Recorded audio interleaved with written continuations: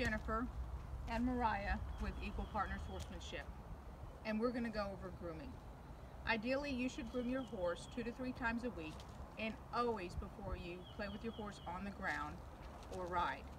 It's a great opportunity for you to check the condition of their coat, their hooves, and their hair while checking for injuries or abrasions. This is Moses and back over there is Zoe and you might see them make a appearance a time or two during our video. We're going to go over the brushes. These two brushes here are not always used but when they are they're used to remove mud and to assist with your horse in the shedding process. This here is the curry brush and is always used first. It is used in a circular motion against the direction of the hair. Then we're going to move on and we're going to clean the horse's hooves and brush their mane and tail. This time that we're doing this allows for the oils in your horse's skins to come up from the currying process.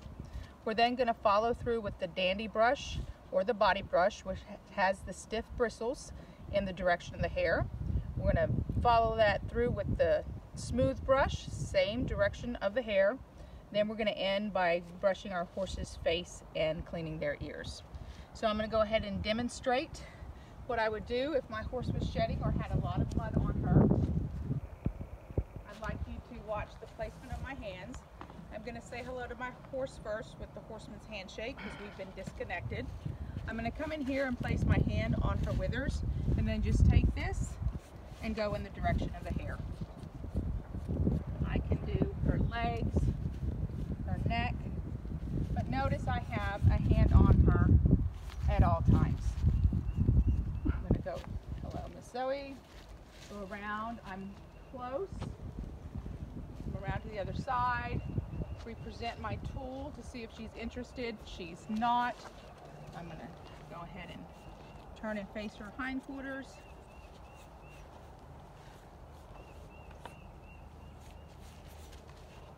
And finish the process out on this side. That's Zeus. I'm next going to do the curry. Once again, I'll let her see it to see if she's interested in it. She's not, no worries. Hand on withers in a circular motion against the hair.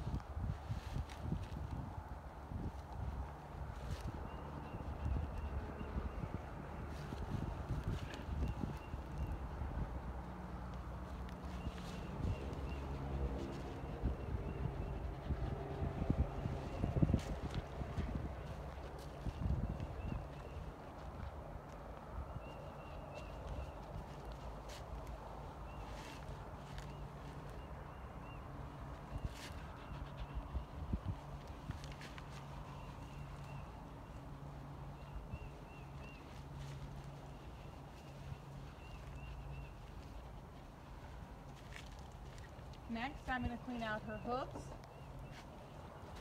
I'm going to come and stand at her shoulder. I'm going to stand square in my body. I'm going to be facing her hindquarters. Hoof pick is in the opposite hand, the hand furthest away. The hand closest is going to go on the inside of her leg. I'm going to feel for her chestnut and I'm going to pinch as soft as possible, as firm as necessary. When she lifts her hoof, I'm going to catch it with the other hand and then I'm going to switch out. Notice how I hold the hoof pick. I'm going to come in here. This triangle is called the frog and we want to clean out these grooves in here. And I'm going to go in, up, and out. In, up, and out. And I'm going to repeat the process all, on all four feet. I'm going to gently replace her hoof. Take my hand from the withers, take it down her back, down her hindquarters and I'm going to squeeze this which is called her hock. She lifts her foot. I catch, transfer, in, up, out if there was something in it, in, up, out. And of course I'd clean anything in here if there was something. Notice I'm still pretty square. I don't have my feet here. I'm Gonna place her foot back, go the other side, and repeat the process switch out hands, turn face to the inside. That's the chestnut that I'm squeezing. Woo, that was close, wasn't it? transfer. Here I am, in, up, out, in, up, out. Repeat the process, maybe pick that out, and replace her foot. Withers, run your hand down her back, down her hindquarters, squeeze that hock, catch that foot, make sure your foot feet are out of the way. The same thing if these were dirty and replace it. I'm now going to go to the mane and the tail. Always want my horse to know my intentions. So I'm going to start at the withers and move my way up her neck. I'm going to place my hand and hold it a little bit so I don't end up pulling her hair. Notice my elbow is up and out of my way as I move up her neck. I'm going to bring this over. I like to brush my horse's manes to their left side some people don't care. Some people follow their breed standards or whatever kind of showing they do. I'm going to step in front of her, brush this part. I'm to go to her tail, hand on withers, run my hand down her back, take her tail gently, pick it up, bring it over, and place it on my thigh. I'm going to start at the bottom.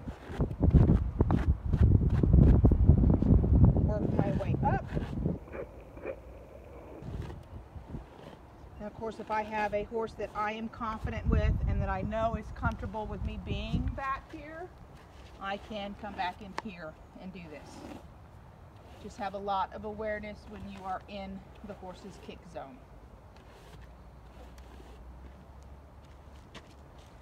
Now I'm going to take the body brush or dandy brush and simply go in the direction of her hair. I always like to start at the withers friendly place for the horse. You ever notice horses out in the pasture will sit there and lick and chew on each other's withers? That's them telling each other they like each other. And notice how I'm flicking my brush. Helps get the hair and the dirt out. Going in the direction of the hair.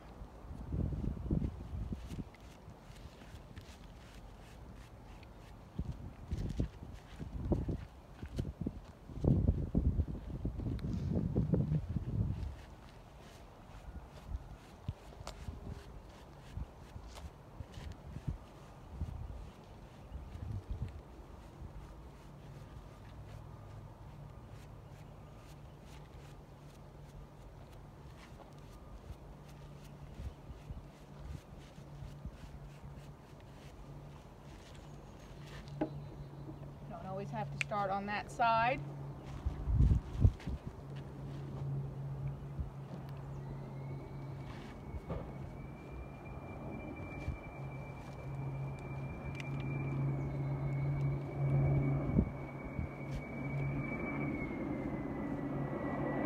Notice I've done my best to keep my feet out from underneath her.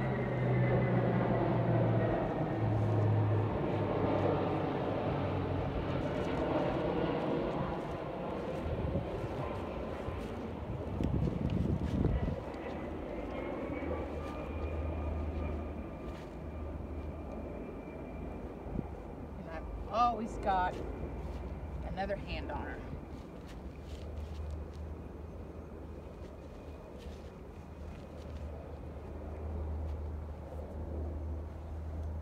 That was just for the fun of it. Now I'm going to do her face and her ears. Let her see it. Simply go in the direction of the hair. And why I did not curry her face, you can curry a good horse's face.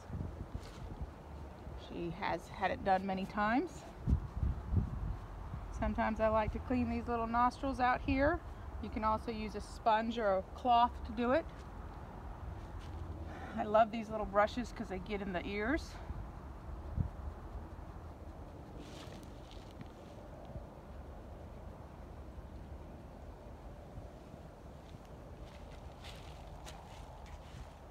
Till next time, stay safe and have fun. And remember, horsemanship is nothing but good habits and skills. Good habits and skills in both horses and in life are nothing but determination and practice.